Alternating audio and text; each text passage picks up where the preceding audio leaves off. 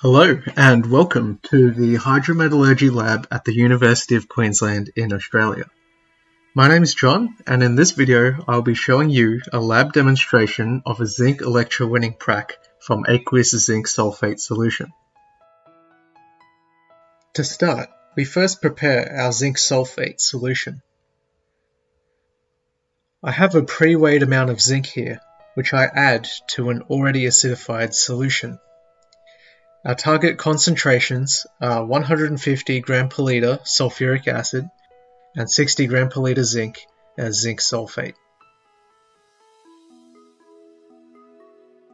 While that's dissolving, let's consider our cell design. We will be plating the zinc onto an aluminium cathode by supplying electrons from a lead anode.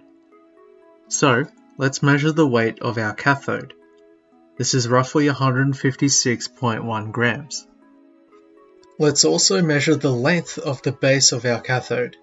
We need this in order to calculate how much current we need to run through the cell at our specific current density. I've measured this as roughly 10.7 centimeters. Let's go over to our actual experimental setup. As we're working with an electrolytic cell, external power needs to be supplied by a battery, or in this case, a potentiostat.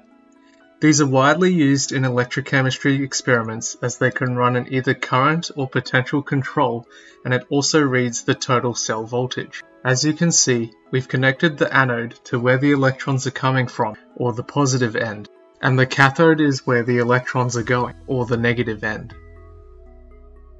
So, it's been some time, and the electrolyte solution has finished dissolving. So now we're going to transfer it into the cell. Our cathode and anode are held in place with pegs with only one exposed surface to the solution. The other sides are covered with insulating tape.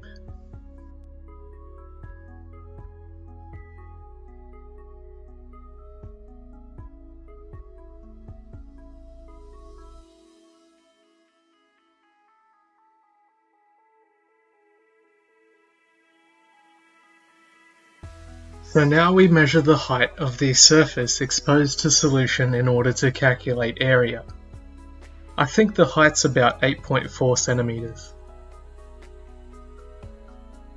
At the same time, we're going to measure the distance between the cathode and the anode.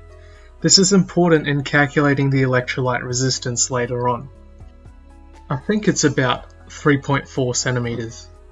Also, as safety is always a top priority in the lab, we don't forget to have a bund underneath the experiment. Now we just do a simple calculation to find the total exposed surface area. Our chosen current density is 500 amps per square meter. This gives us a target amperage of 4.49. So we turn on the potentiostat and turn it to the correct amperage.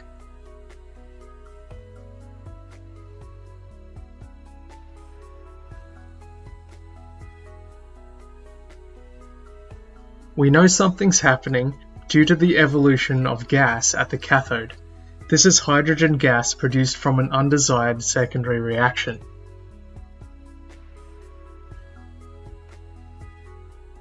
You may have noticed that the potentiostat is giving us a voltage reading of about 4.1-4.2 volts. This is known as the total cell potential. If we want to break this down into the anode potential and cathode potential, we use what's called a voltmeter connected to a silver-silver chloride reference electrode. For now, let's just do the anode readings.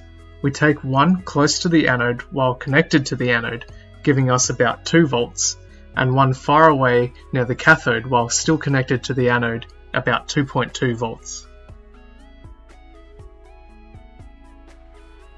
We repeat the same process while the voltmeter is connected to the cathode one measurement near the cathode, giving negative 1.2 volts,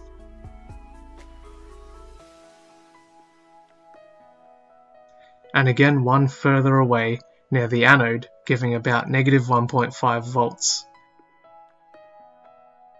In this close-up we can see that the hydrogen gas at the cathode has pretty much stopped. We're now mainly plating zinc. We're now getting oxygen gas at the anode. This oxidation reaction produces the electrons needed by the zinc ions. Now I've recorded the first 15 minutes of the experiment, but unfortunately my movie editing software can't fast forward through the footage, so I'll probably just show one minute of footage so you can get a rough idea of what's happening. You may have noticed that the solution has gone a pinkish purpley colour, and that's okay. This coloration is due to manganese impurities in the initial zinc solution, which has produced the permanganate ion. If we used, for example, a 99.9% zinc source, our solution would be expected to remain clear at this point or have gone slightly grey. Again, we'll be taking our voltmeter readings every 10 minutes up until the total experimental time of 2 hours.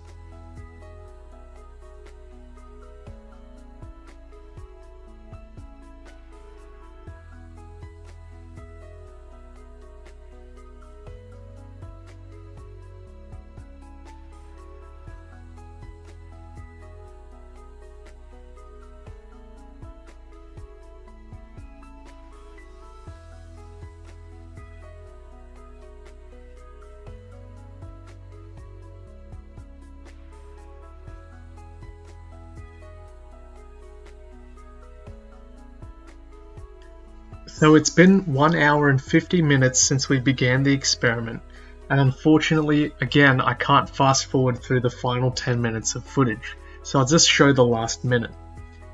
Now that the total experimental time has been reached, we'll shut down the potentiostat and remove the cathode in order to wash it with water and dry it. We'll be leaving the cathode overnight in order for it to air dry and come back tomorrow to see how it's gone.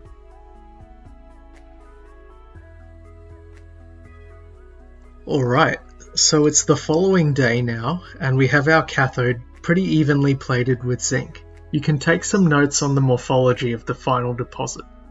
So now we're going to measure the final mass of the cathode and although it doesn't look like much, the cathode now weighs 165.1 grams, meaning that we've plated about 9 grams of zinc. We can combine all of our measured data into what's called an ETAL energy diagram. This diagram shows the total energy consumption as a sum of the individual components. We can also calculate some key parameters such as the specific energy consumption, which is kilowatt hours of energy consumed per kilogram of metal, and the current efficiency, which is the experimental mass produced as a function of the theoretical maximum. Perhaps you'd like to give it a go for the values that we've used in this video. Thanks so much for joining me, I really really appreciate it. I hope you've found this video informative and useful in your studies.